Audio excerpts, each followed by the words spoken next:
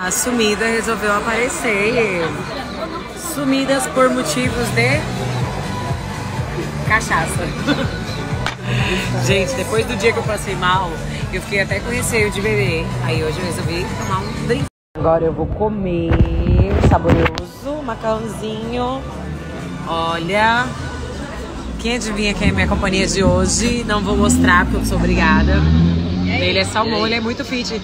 Amiga, ele é mais fitness do que eu. Quem veio me ver? Você sabe que eu te amo, né? Cão, nem foi no meu aniversário, só tá per... Não, eu tô gravando story. Não, vai ser assim mesmo. É. Vai sair, amor. Quero mais você. Você- Ah, como é que é? Não quero mais você. Você não me Ah, deixa então arruma sair. outra. Ó, você não me deixa sair.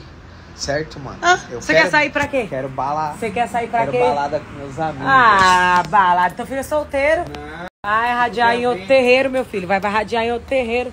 Tá molezinho, então. Cuidei a semana toda e final de semana. Ah. Molezinha. Vai achar uma que, te- que faça isso, porque aqui não é trouxa. Vim visitar uma amiga minha hoje. Gente, você tá louco? Hoje eu tô bem blogueira. Não sei da onde, blogueira.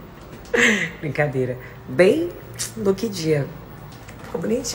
Olha, eu chego aqui, olha o que que a Laura já. Você acha bonito isso, né, pra minha carreira? Ela falou, tia, vai com meu chinelo. Aí cada um, ó, tô indo com o salto. Meu Deus do céu. Olha só, duas palhacinhas.